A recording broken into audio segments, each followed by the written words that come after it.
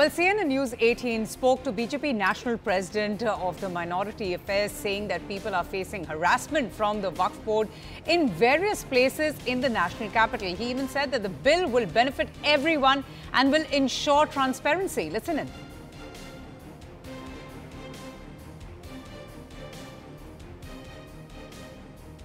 जब से ये वक्फ अमेंडमेंट बिल की बात आई तो हमारी टीम ने भी दिल्ली में कई जगह पर जाके रिपोर्ट किया तो उससे ये पता चला कि बहुत सारे ऐसी ज़मीन है जहाँ पर एक एसोसिएशन है, कोई वक्फ टेनेंट एसोसिएशन, वो बहुत सालों से वहाँ पे बिज़नेस कर रही है और उनके ऊपर इतना दबाव लगातार दिल्ली वक्फ बोर्ड की तरफ़ से बनाया जा रहा है।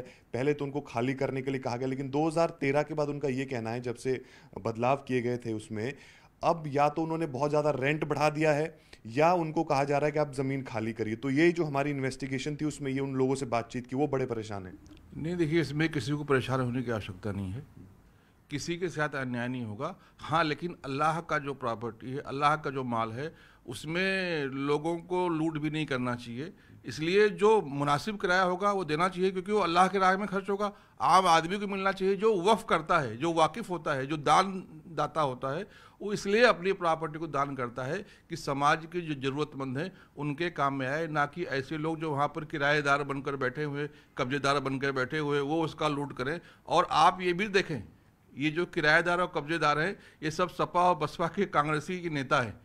वो उसको अपने कब्जे में लेकर रखा है प्रॉपर्टियों को। नब्बे फ़ीसदी प्रॉपर्टी कांग्रेसियों के कब्जे में है, सपाइयों के कब्जे में है।